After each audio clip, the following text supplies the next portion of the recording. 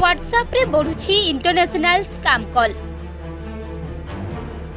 ଭାରତର ଆଇଟି ମନ୍ତ୍ରାଳୟ ହ୍ୱାଟ୍ସଆପ୍କୁ ପଠାଇବ ନୋଟିସ୍ ସୂଚନା ଦେଲେ କେନ୍ଦ୍ର ଆଇଟି ରାଷ୍ଟ୍ରମନ୍ତ୍ରୀ ରାଜୀବ ଚନ୍ଦ୍ରଶେଖର।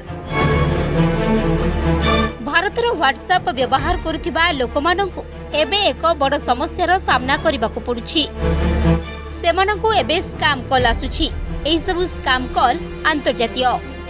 ଏହି ଆନ୍ତର୍ଜାତିକ ସ୍କାମ୍ କଲ୍ ମଧ୍ୟରୁ ଅଧିକାଂଶ ଇଣ୍ଡୋନେସିଆ ଭିଏତନାମା ମ୍ୟାଲେସିଆ କେନିଆ ଓ ଇଥିଓପିଆର କୋଡ୍ରୁ ଆସୁଛି ଏହାକୁ ନେଇ ଅନେକ ହ୍ୱାଟ୍ସଆପ୍ ବ୍ୟବହାରକାରୀମାନେ ଟ୍ୱିଟରରେ ଅଭିଯୋଗ କରିବା ପରେ ଭାରତର ଆଇଟି ମନ୍ତ୍ରାଳୟ ଏହାକୁ ଅତ୍ୟନ୍ତ ଗୁରୁତର ସହକାରେ ନେଇଛି ଏ ସମ୍ପର୍କରେ ସୂଚନା ଦେଇ କେନ୍ଦ୍ର ଆଇଟି ରାଷ୍ଟ୍ରମନ୍ତ୍ରୀ ରାଜୀବ ଚନ୍ଦ୍ରଶେଖର କହିଛନ୍ତି ଯେ ଇଣ୍ଟରନ୍ୟାସନାଲ ସ୍କାମ୍ କଲ୍କୁ ନେଇ ସରକାର ମେଟା କମ୍ପାନୀର ଇନ୍ଷ୍ଟାଣ୍ଟ ମ୍ୟାସେଜିଂ ପ୍ଲାଟଫର୍ମକୁ ନୋଟିସ୍ ପଠାଇବେ।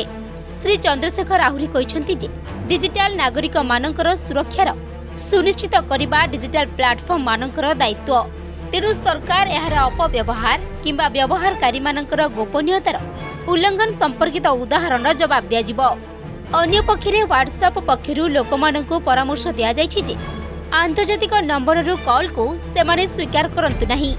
ମନ୍ତ୍ରୀ ରାଜୀବ ଚନ୍ଦ୍ରଶେଖର କହିଛନ୍ତି ଯେ ମନ୍ତ୍ରାଳୟ ଏହି ମାମଲାଗୁଡ଼ିକୁ ଅତ୍ୟନ୍ତ ଗୁରୁତର ସହ ନେଇଛି। ଖୁବ୍ ଶୀଘ୍ର କମ୍ପାନୀକୁ ନୋଟିସ୍ ଜାରି କରାଯିବ।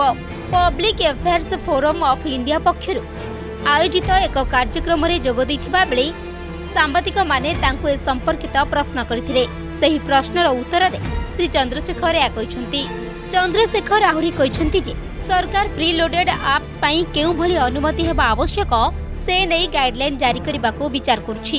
ସେ ସ୍ପଷ୍ଟ ଶବ୍ଦରେ କହିଛନ୍ତି ଯେ ବ୍ୟବହାରକାରୀମାନଙ୍କର ସୁରକ୍ଷା ଓ ବିଶ୍ୱାସକୁ ସୁନିଶ୍ଚିତ କରିବା ଏହି ପ୍ଲାଟଫର୍ମଗୁଡ଼ିକର ଦାୟିତ୍ୱ।